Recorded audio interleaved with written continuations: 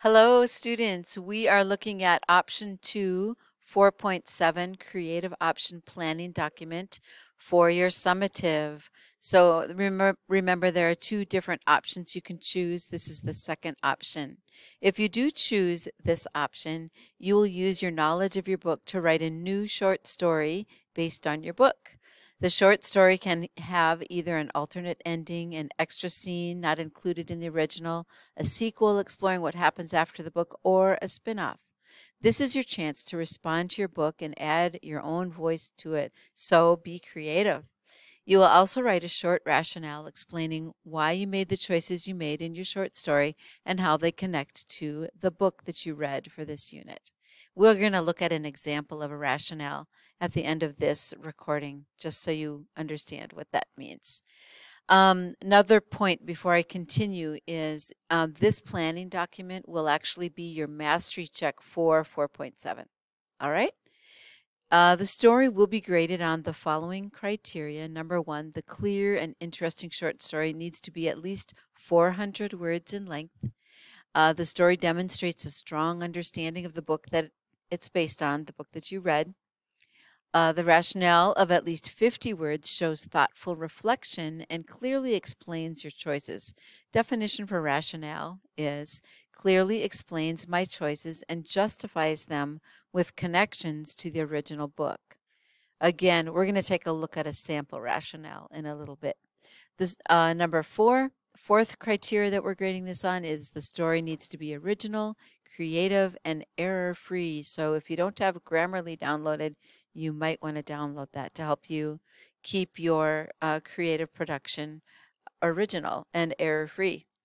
Uh, the checklist here is very similar to the criteria listed above. The only thing that's uh, new or added is stay true to the characters and themes of the original book. You want to make sure that you're continuing on with the same people. Um, let's take a look at some of the things that you need to fill out for this planning document. Step one, uh, please get started by completing these answers below. This is a must do. So, number one says summarize your choice reading the book. What was it about? What genre was it? What moments do you remember most clearly? Number two, describe your idea for your new short story. Will it be a prequel, sequel, alternate ending, missing scene, spin off, or something else? Whatever. We want you to be creative here. Uh, number three, what characters from the original book will be the focus of your short story? Number four, what situation or plot event will the characters have to deal with in your short story? Brainstorm at least two possible ideas. Number five, uh, explain your rationale for this new story. Why would this be an interesting addition to the original book? And what connections will you make between your new creation and your original book?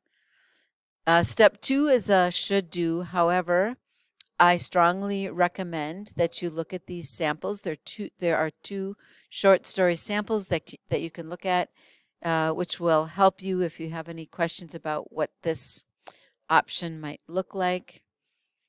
Uh, step three, again, is a should do. Uh, this will help you if you're having trouble getting started with the opening of your story. There's here are some examples. You can start with a dialogue, a question, or an action and there are some um, sentence starters that you could use to help you choose one of these for the beginning. Step four is a must do. We do need you to use your favorite story opening above or your own idea and write the first paragraph of your story. Uh, lastly, step five is an aspire to do. If you want to get some feedback from your peers, go ahead and ask your um, classmates to check out what you've written and, and see what their um, response is to it, see if they think it sounds like a good idea. Um, I do want to look at one of these sample stories just to show you the rationale. Again, this is probably a good idea if you're kind of, if you learn a lot from other people's writings. This is a short story um, that was made from uh, the book uh, A Raisin in the Sun. So you can see this is what 400 words looks like. Down here, we have the rationale and a couple sentence starters that I see um, that that you could probably use is I was interested in the character blank and then fill that in and why. I chose to write a missing scene from this perspective, so why? And they explain why.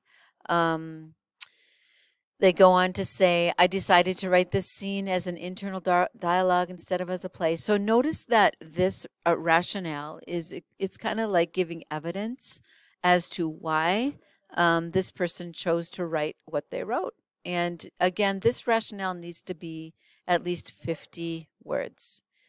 Um, I wish you the best of luck in choosing your option for your summative. Please let us know if you have any questions, um, and we'd love to help. Thank you. Bye bye.